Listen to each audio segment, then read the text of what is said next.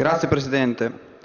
Sono ormai trascorsi nove anni da quella maledetta sera del 4 marzo 2005, quando un'auto dei servizi segreti italiani, con a bordo la giornalista Giuliana Sgrena, l'autista Andrea Carpani e Nicola Caripari, venne fatto oggetto di ripetuti colpi d'arma da fuoco, sparati da soldati americani, appostati lungo la route Irish, strada di collegamento all'aeroporto di Baghdad.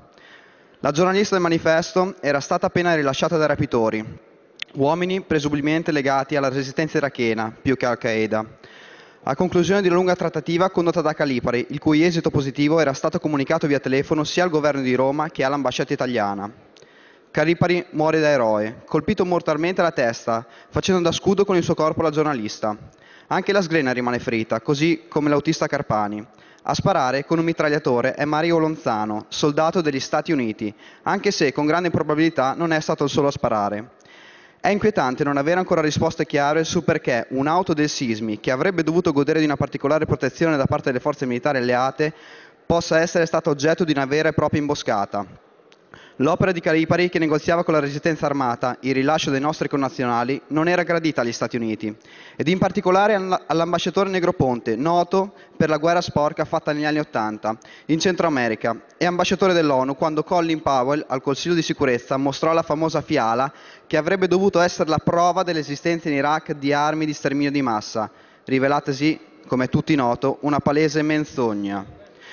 Le due inchieste, quella italiana e quella statunitense, c'è da sottolineare, sono in molte parti in contrasto.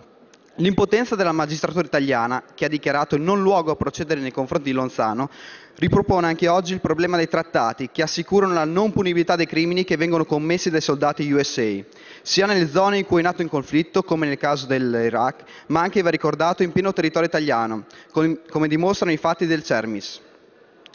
Nel dare il nostro omaggio a Nicola Caripari e alla sua famiglia, non possiamo non ricordare come l'avventura militare italiana in Iraq venne fatta in disprezzo dell'articolo 11 della Costituzione e senza alcuna copertura dell'ONU e del diritto internazionale. Quella invasione militare ha prodotto decine di migliaia di morti, ha reso quel paese e il mondo più insicuro e ingiusto. Noi consideriamo Caripari un eroe del nostro tempo e la sua drammatica vicenda non può e non deve finire nell'oblio. Va ricordata al mondo, ma anche a noi stessi, perché è simbolo di generosità e sacrificio. Valori che nei difficili teatri di guerra ci riportano a una dimensione più umana. Grazie. Grazie.